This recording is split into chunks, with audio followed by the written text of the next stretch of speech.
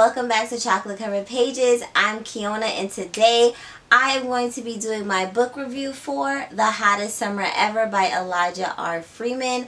This book is about a girl named Kush who grows up as a spoiled daddy's girl. But one day her world gets turned upside down when he is brutally murdered in front of her. Left in the hands of her negligent mother, Kush is forced to commit murder to protect herself.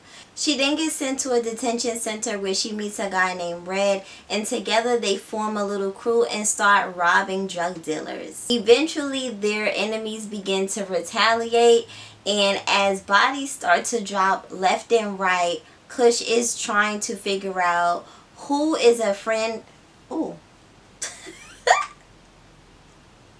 Kush is trying to figure out who is friend and who is a foe. So first I want to address the elephant in the room. I know that you're probably thinking this sounds exactly like The Coldest Winter Ever by Sister Souljah.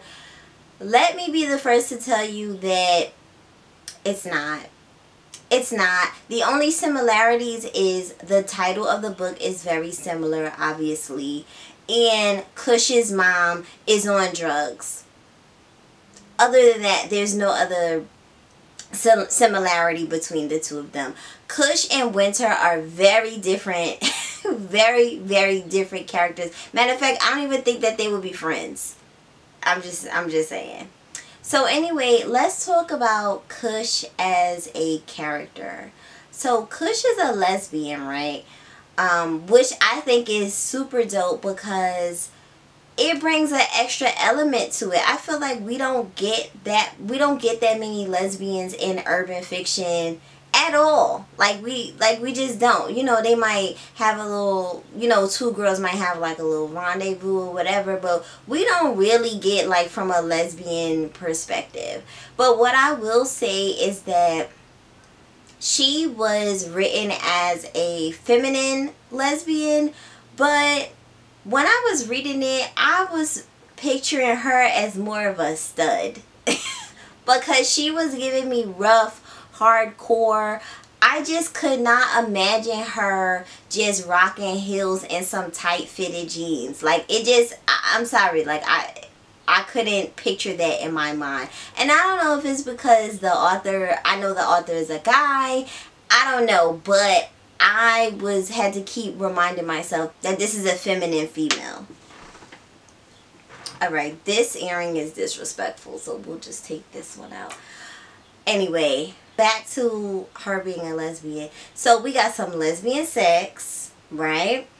Um, we also got to see how she approaches women. I mean, Kush had Kush had some game, you know, and and from my understanding, you know, she was attractive, so women were coming on to her. And then also we got to see how other how dudes responded to her taking their chicks and I thought that that was so funny and it was definitely dope to see because normally in urban fiction and you following a female character okay yeah she's the baddest bitch and all the dudes want her and blah blah blah blah like this was coming with something different and I really like that part of it. So we know from the beginning that Kush has been dealt such a bad hand at life but what I like about Kush is that she doesn't allow these setbacks to just lay her out. Like she's like, you know what? All right, what can I do next? You know, my mom is messed up. So now I'm in this detention center and I don't even have a home to go to go to. So now she has to go stay in a group home. She makes the best of that situation. You know, it, it is what it is. I, that was kind of what I was getting from Kush. Is like, you know what? I miss my father but it is what it is. This is my life and I just have to, you know, get in when I where I fit in. And that's exactly what she did by hooking up with Red. Like, okay, you know what? What can we do to get some money in our pockets? You know, I mean, not to say that what she did was the right thing to do, but you know, I love that she really lived by street code, which is no snitching No snitching. Everybody knows ain't no snitching. And I like that when it was time to put work in and bust her gun, she did what she had to do. She never pretended to be like some hardcore gangster. And she wasn't, you know, but these were the this is the hand that she was dealt. And at the end of the day, it's either me or you. And that's what I was getting from Kush and I like that really made me uh, respect her as a character. Um, the only thing I would say in this book that felt a little bit flat to me was the sex. like, I just felt like I didn't feel like the sex was super believable. If if if I could say that, like I felt like like it felt like I was reading a book with sex typically when I like to when I read a sex scene, I can transport myself to possibly like being the person and stuff like that. But I didn't feel that when I was reading these sex scenes. Maybe because I was expecting them to be a little bit more graphic. But you know, that could also just be a personal preference of mine. But I just want to definitely let you know that. I also want to let you know that there's trigger warnings in this book for rape. So definitely um, let you know that before going into it. I also felt like um, throughout the book, like it was constantly fast paced. Like it was constantly. Um, and that is, if you're an urban fiction reader like me, that is what we look for. We looking for a good sex. We're looking for fast pace. We're looking for bodies dropping. Like we looking for um sneaky shit happening behind somebody else's back. We are looking for all the things, all the drama. And I feel like all of those things, minus the sex, you could definitely find in this book. Um, you never know who was going to still be alive by the time you turn to the next page.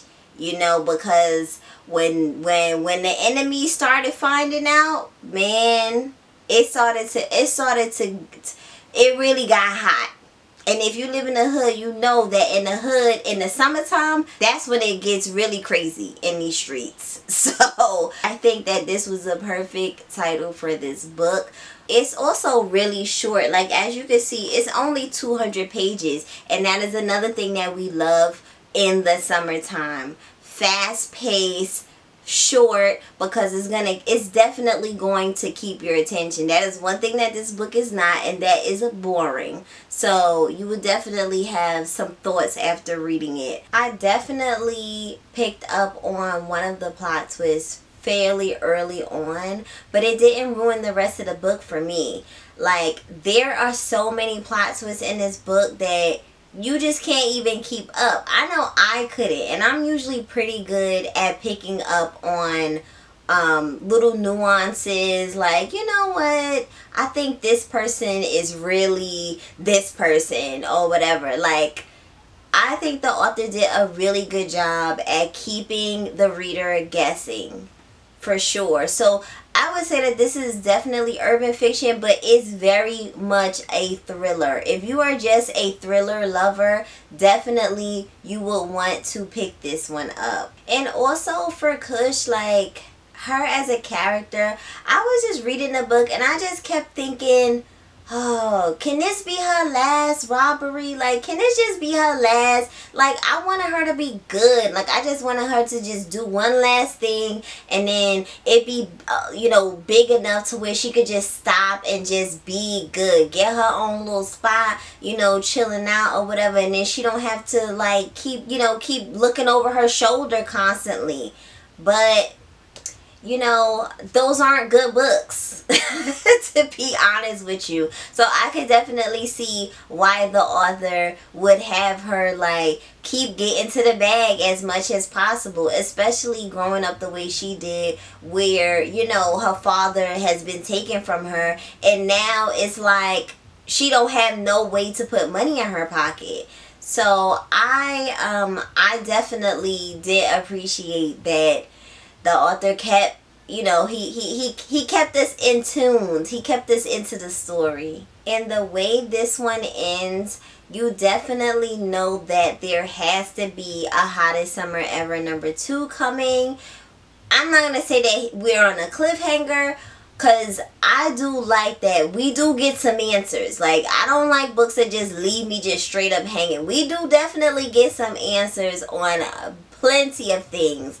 But there's some characters that I would love to read their point of view as well. I won't say the names because I don't want to spoil anything.